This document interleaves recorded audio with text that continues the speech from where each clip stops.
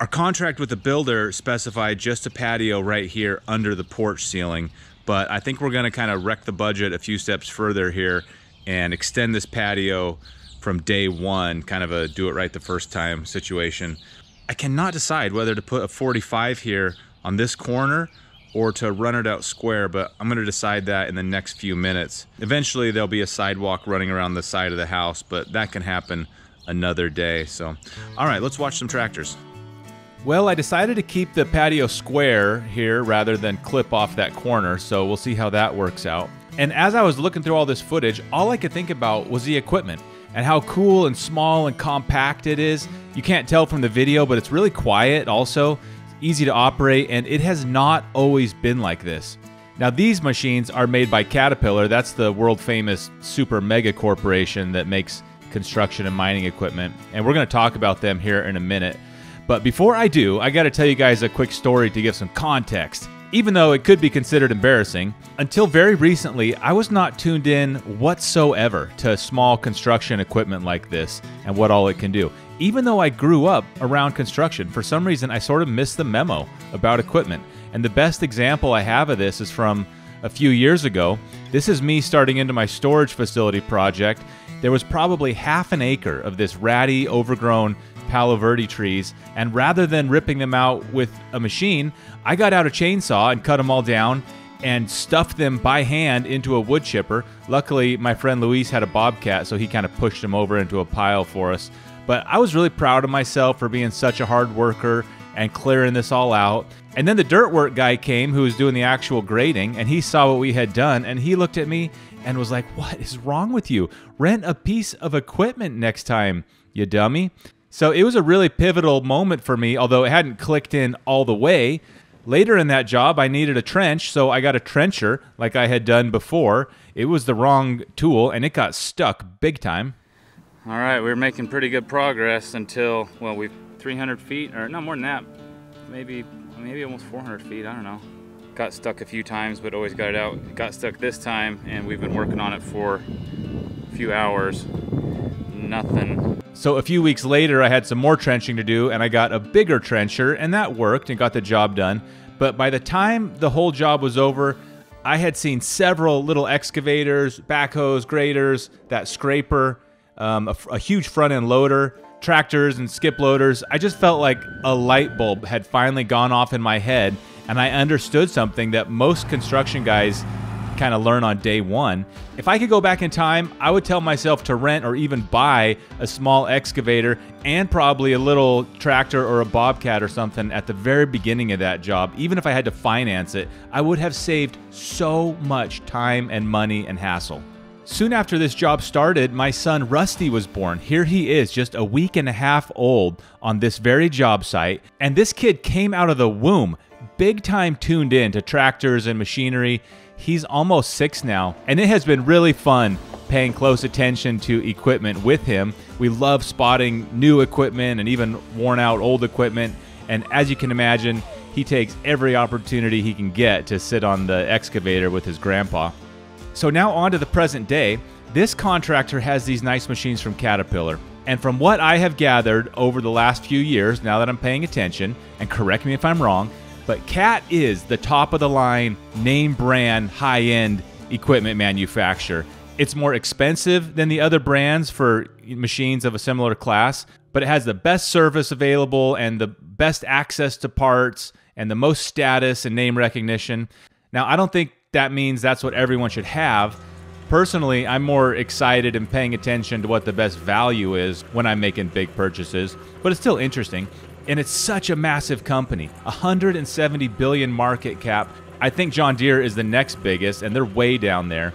And I know John Deere makes farming equipment, and Cat doesn't do as much farming, but still, it is the original construction machinery company. They introduced the first tracked tractor back in the day, and ever since then, they've been improving and leveling it up one notch at a time every single year. I recently watched this really great video about their dozers, and it really showcased how these improvements have stacked up over the years until what we have now is equipment that is unbelievably effective.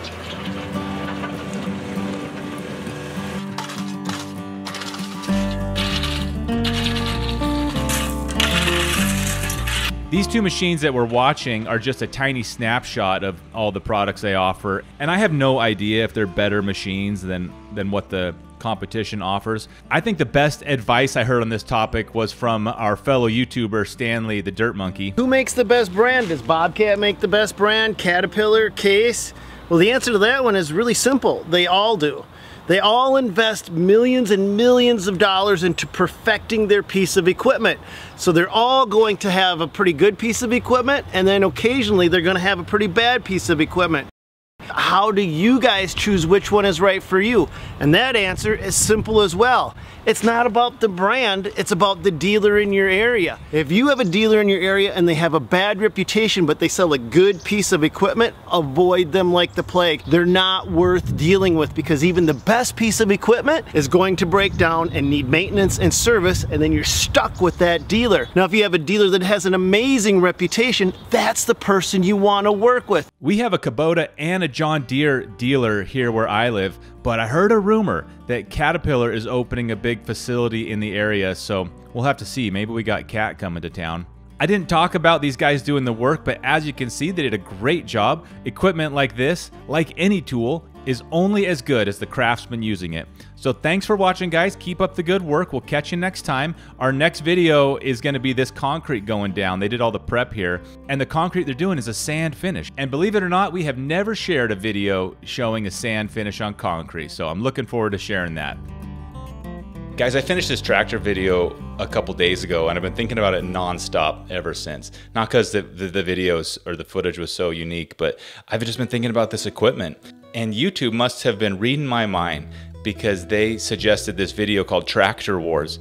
It is a documentary put out by PBS, and you you have to watch it if you like this stuff. It's a historical look at the tractor and farming tractor development, starting with horse-drawn implements.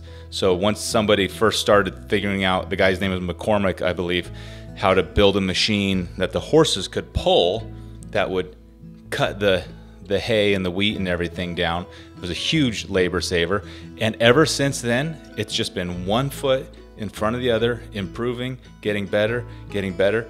Granted, lots of times eh, they would develop something that was terrible and the company would go out of business and investors would lose. So it wasn't all, always a step forward. Trial and error, though, that these engineers have just been going to town.